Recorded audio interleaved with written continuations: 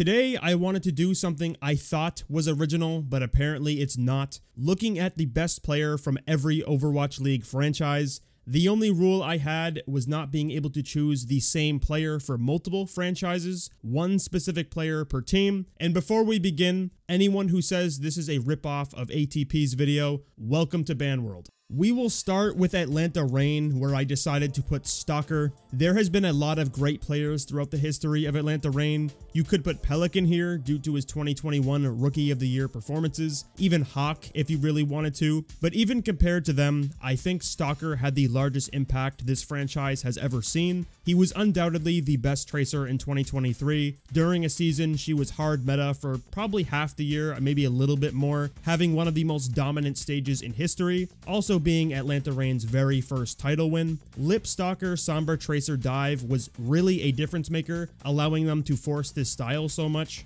We didn't get to see as much flexibility with Stalker as we did with Pelican, but you also need to take into account 2021 was a year with hero pools, so the players didn't have a choice when specific things were banned for a stage. Of course, Stalker did play other heroes like Mei, Echo, and Genji, which were all great, but compared to his Tracer, they paled in comparison. Tracer is where he really shined. Anyone would be comfortable with having Stalker one-tricking that hero. One could actually argue in 2023, Stalker should have been the Atlanta Reign's MVP over Lip due to how impactful his Tracer was. The stats from him were just unbelievable. This single year is honestly enough for me to put him here.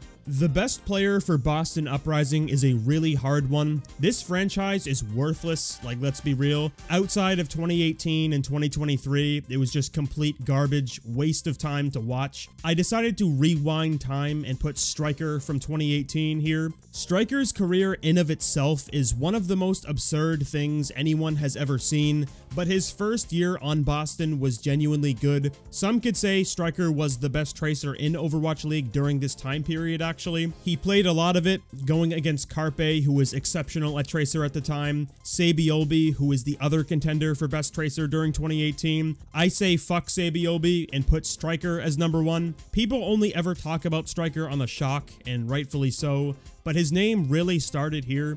This Boston Uprising team was quite good, being the first ever team to have a perfect stage as well, which was even more impressive because this was during a dramatic time where their professional kid toucher got exposed, so big ups to Mistakes especially for that, but Striker was right next to him doing his work. Striker himself must have realized how amazing this whole situation was because he returned back to Boston two more times after this, so congratulations to him. Chengdu Hunters is a very easy one. Leave is the only possible answer. Anyone who would say Ameng is a clear indicator you have not showered for multiple days at this point. Leave did absolute miracles with Tracer and same with Hanzo. Whenever he pulled out Hanzo, there was a 90% chance you would watch a farming session. This was also the season he showed the true flexibility, pulling out hitscan from time to time, looking exceptional at literally everything then most importantly, winning MVP due to his performances. Thankfully, people started to learn how good he actually was, and to this day is still considered one of the best, and a tie between himself and Guxue for the best Chinese player to ever do it. When it comes to the Dallas Fuel, a lot of people put Fearless here right away, then call it a day, which is the wrong answer. The correct one is Hanbin. Sure, Fearless was exceptional during 2021, then helped them win 2022 Overwatch League at the final hour. No one can doubt Korean Guxue's skill here, but if we look at Hanbin, in 2021, he was the second best off-tank right behind Void from Shanghai Dragons. Then 2022, he was considered the most impactful tank during that season. For their run on Zarya during Kickoff Clash, whenever he needed to play Sigma, D.Va, Junker Queen, obviously, he dominated all of it. People seem to forget that Fearless kinda sucked in 2022 midseason, the only time he played during that year, aside from the playoffs, obviously. Dallas ended that tournament 7th place, which is pathetic to be frank. Whenever Hanbin played though, the team overall looked way more coordinated. Viewers campaigned for Hanbin to win MVP, being behind Proper of course, which let's be real, Hanbin's not going to win MVP over him. That doesn't take away from his performances though, he was a fucking animal. Adding to this, Hanbin was the best player on the 2023 Dallas Fuel as well, towards the later half of that year when Hanbin could actually play his heroes. Dallas leveled up a shit ton and they turned that ship right around. Both Hanbin and Fearless were fantastic. Hanbin just edges it out for me. Florida Mayhem is a strange one. My mind immediately wanted to go to Yaki for his 2020 performances, but after thinking a bit more, I believe someone should acquire this spot for Florida Mayhem.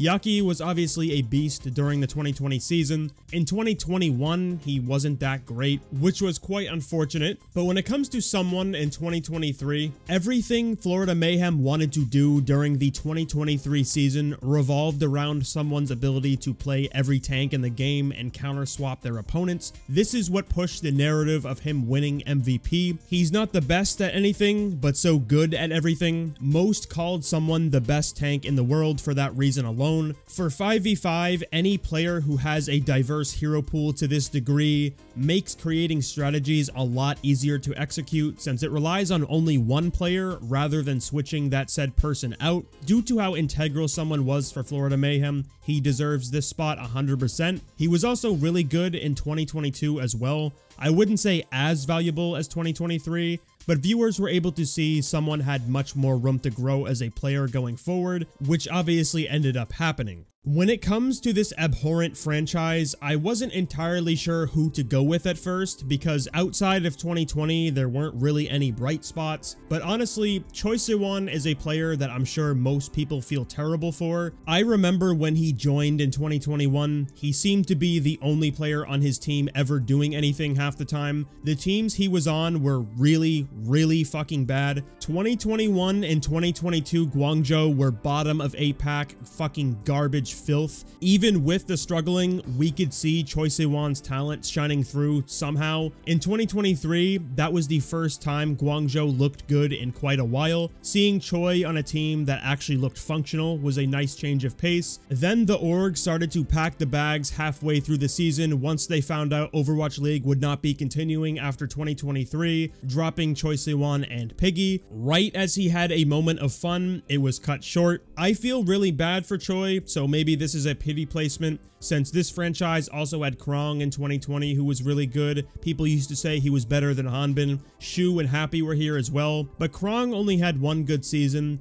Then Shu and Happy I felt had their breakout years after they left Guangzhou. What a shocker. This is obviously not saying they are bad because you cannot win a stage with a group of shitters. I just wanted to give this to Choi because he was pulling out great performances on mostly bad teams. When it comes to Hangzhou Spark, it is very easy to pick the player that belongs in this spot. Guxue, and as you'll notice with other teams, there are franchise players who you can't really argue against. He joined back in 2019, where I actually forgot Hangzhou was good at goats, Guxue was an MVP candidate this season, which is wild to me. If you've ever seen him play Rein in later seasons, you'll understand why this is baffling. This, of course, is not what he's known for, though. Winston is one of the few unlocked heroes in Guxue's selection screen, the other being Doom, which he showed in 2023. Was not expecting him to be insane at that hero, but any hero that jumps is Guxue's wheelhouse, I guess. When it comes to Winston, there has been an eternal battle that will seemingly never end. Who is a better Winston, Guxue, or Fearless? Both of them are leagues and leagues better than anyone else who's ever put their fingers on this hero. Maybe Smurf can be in that category too, but whenever Guxue was ready to play dive, you knew it would be good. We saw his stupendous expertise during the 2022 playoffs, I don't think anyone expected Hangzhou, who came in at bottom seed, to get fourth place. Then also in 2023, watching the dive mirror against Atlanta and Boston Uprising, getting the back-to-back -back reverse sweeps, again acquiring top 4. Mechanically, Guxue is disgusting with Primal Rage and always has been. We saw this all the way back in World Cup when Primal Blade was born. He is a legend of the sport, arguably the best Winston of all time, and undoubtedly Hangzhou Spark's best player in franchise history. Houston Outlaws is one of the most shit franchises Overwatch League ever saw. They only started getting good towards the later seasons, and I think the only person who deserves this spot is Danteh, being stuck in jail for so many years, showing how he's clearly a better player than everyone else on multiple different rosters was truly a sight to behold. 2020 was the real breakout year, where most could see he does not belong on these Houston teams. They clearly weren't putting effort in or trying to build a thing someone could call a team. When they finally started creating real rosters, he fit into them seamlessly,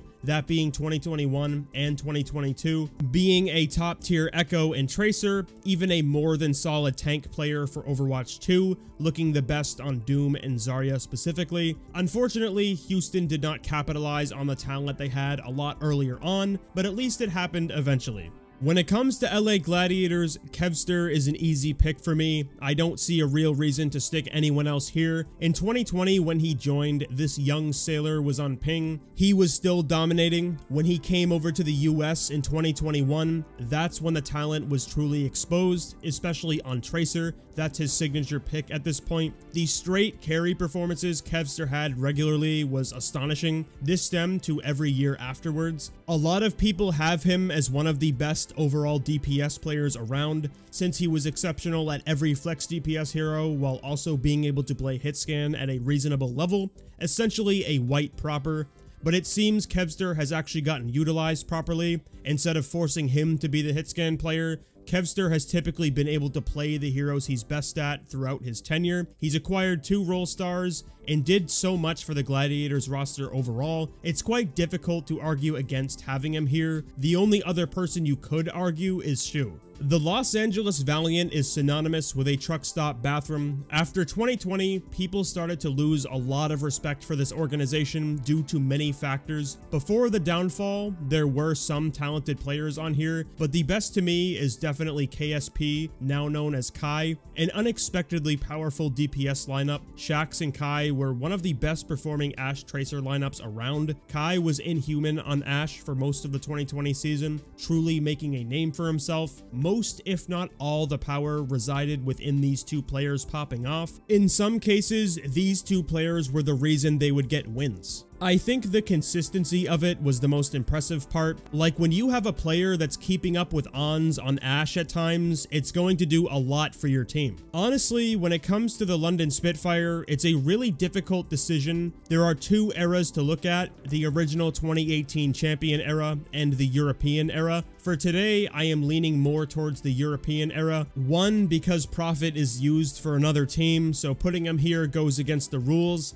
and two, the personality resonating from the 2022 and 2023 London Spitfire was honestly enjoyable to watch. Hadi can be considered the best from an entertainment standpoint undoubtedly, but this was not to say he was a bad player though. He was the centerpiece of making their characterized strategy work with the Rein bullshit. Occasionally teams would mirror it and fail, or just struggle against it. I don't think a single soul walking this earth ever expected the London Spitfire to make playoffs in 2022. If you just consider how bad Hadi was in 2021, then afterwards their season turnaround in 2023 was one of the biggest ones of all time. Hadi is a beast. NYXL was a fabled giant in the beginning of Overwatch League. Not many teams have been able to reach the levels of dominance they did in that season, where JJoNak is still the easiest pick for them. The only support player to ever win MVP, Violet or Alarm are the only others who even came close to that. JJoNak was just unreal in 2018, an actual turret just mowing everyone down having absurd damage statistics regularly. Granted, in the current days of Overwatch, having carry performances like this on Zen is not common, since people would just adapt and shut it down properly, or at the very least prioritize ways to stop that shit. But in 2018, this was real life, him hovering around just killing everyone. NYXL tried their absolute hardest to make sure JJoNak could stay up and carry the game, which is something not many people would even attempt. Clearly, it was worth it here, spearheading NYXL to four tournament finals appearances, winning two of them, then getting knocked out very early by Philadelphia Fusion in the playoffs. Big ups to JJoNak. When it comes to Philadelphia Fusion, just like Profit, Fusion had their franchise player in Carpe, the longest tenure on one franchise, tied with GuXue, five years of this. there were a whole lot of second place acquisitions for Carpe and Fusion, but there were moments he was more than obviously their best player, like 2018 where he was in the top 3 MVP candidacy, and also most of 2020, Carpe was the front-running MVP candidate for that season. Of course, more eyes got put on Alarm, and I think most considered him the best player on Fusion at the end of that year. It still doesn't take away how much impact Carpe had on a regular basis though, Anytime he played Hitscan, you knew it would be good. During the earlier years, most people considered him the best Hitscan in the world, and also the best Tracer player on that roster, which did cause Philly to be in a pickle from time to time. You wanted him to play both Tracer and Hitscan, but you obviously can't do that unless we had the ability to clone him. It's just really sad he never won a single thing in Overwatch League, his depression is still ranked amongst the highest of anyone who has ever touched this game, at least in a more positive light. Carpe is renowned as one of the best to ever do it. He's won World Cup before, so he has at least something to his name. San Francisco Shock was a really hard one, honestly. A part of me wanted to put Violet, but after that five-figure Ajax shit, I'm not doing it and putting Proper instead. As Wings of Redemption said all those years ago, Look here! Look here! Look! Listen! Listen, Proper is honestly a legitimate choice of a player to stick here. Like, how many players have carried a roster this hard in their entire life? Not many. This lasted all season long. People hoped and hoped for Proper's downfall day by day because they were so tired of hearing his name. Unfortunately for them, it was real. His performances were demonic. Literally every hero he played, Tracer, Genji, Widow, Sojourn, whatever it was, Proper stole Kilo's job, who was originally Shock's hitscan player, looking to be one of the best Sojourns around in 2022. That was truly an amazing year for him, winning MVP, Rookie of the Year, and reaching Grand Finals with Mikey as his tank player. That is a feat not many souls can accomplish right there. Violet is obviously a good choice as well, but it's really hard to put him here when you see him beat in front of a fucking window and you know he's going to die. He knew he was going to die. He could have just sat around that corner, just waited, and he would have been perfectly fine, but for whatever reason, in his dumbass brain, he pressed that button and killed himself, lost that fight for his team. No way in fucking hell am I putting him in this spot. Seoul Dynasty is yet another obvious one. After Profit joined Seoul in 2020, he became their franchise player, praised endlessly for his performances on Flex DPS and even Hitscan, bringing that out during 2020 Grand Finals, honestly looking pretty damn good at it. There are some corners who even call Profit the actual greatest player of all time, which is hogwash at this point. Realistically, only Lip and unfortunately Violet can be argued over now. That's not even saying Profit is bad since he was genuinely amazing for such a long time, essentially the backbone of Seoul Dynasty until Overwatch League's end. Granted, 2023 was kinda shit from him, but at least Profit had his 2022 as the last hurrah, helping Soul get their first ever stage win, acquiring Role Star on his fifth season of competing, showing he still had it in him no matter how much time passed. Seeing someone able to win Role Star after being around for so long is definitely impressive. When it comes to Shanghai Dragons, I just have one word, lip. Toronto is one of those franchises that barely had any talented players, never reaching any real success, being mid for so long. I guess Heesu is the only option. I remember when we were told he was going to be the franchise player, Toronto would be built around Heesu, which didn't last very long.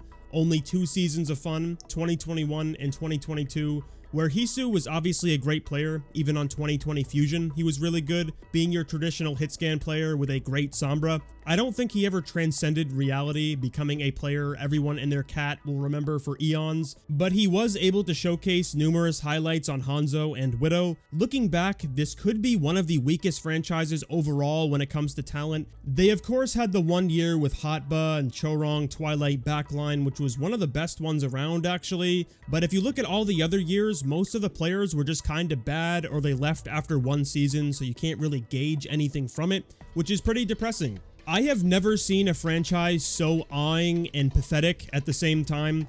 To me, the best player this franchise ever had was JJANU from 2019, arguably the best D.Va from 2019, right next to Choi Hyobin. To me, he was actually better. He was in the final four of MVPs for this season, mainly due to this. Post role lock, we got to see his talent stem to other heroes. When JJANU picked up Sigma, he was immediately one of the best. This time, not better than Choi Hyobin, but still scratching behind him. This motherfucker's one of the most underrated players this game has ever seen, and it's very sad how his career went after this considering how top tier 2019 was, but that is a story for a different day. Initially, I was going to put Knife here for Vegas slash Paris Eternal. If you want to be a cheeky bastard and split Paris and Vegas, then sure, Knife wins that in 2023. You don't really have that many options on that shit stain. For Paris Eternal though, Sparkle is victorious 100%. Right when he joined this roster in 2020, his Summer Showdown performances created one of the most eye-opening moments on Genji anyone has ever seen. Sparkle hard carried his team to Who Are You levels during that stage, mainly in the match against Shock to make finals. That's not to say he was a slouch in the finals, because Sparkle was doing everything EQO was doing and more. He was just insane throughout the entire stage, and seeing Paris Eternal beat the Fusion in the finals, or even making the finals, was a massive upset no one saw coming. Sparkle is the main contributor to that, undoubtedly. Just a massive pickup for Paris Eternal that year, and he did a lot to help him out. Washington Justice is one of the most fucking ass franchises of all time. I don't think a single person deserves this spot other than Decay, when he first joined in 2020 with the rule loophole hogwash, his Zarya performances were unreal, ruining three team seasons because of how well this roster played around it. Decay's presence just elevated them more. Moving to 2021, Decay was punished quite a bit for bending the rules, being on a very overhyped roster, where most of the time he seemed to be the only player who had any impact in matches. You could see the Overwatch equivalent of Sisyphus battling it out on Tracer, just for the rest of his team to watch and topple over. He finished out his final year on Justice in 2022, and his career overall was quite sad considering how talented he was at a multitude of heroes, but at the very least, his Justice days will be forever remembered. And with that, those are my picks for the best player for every Overwatch League franchise. If you have a list of your own, make sure to leave a comment of yours down below, which I'm sure there will be plenty of corrections for my picks, so yay me.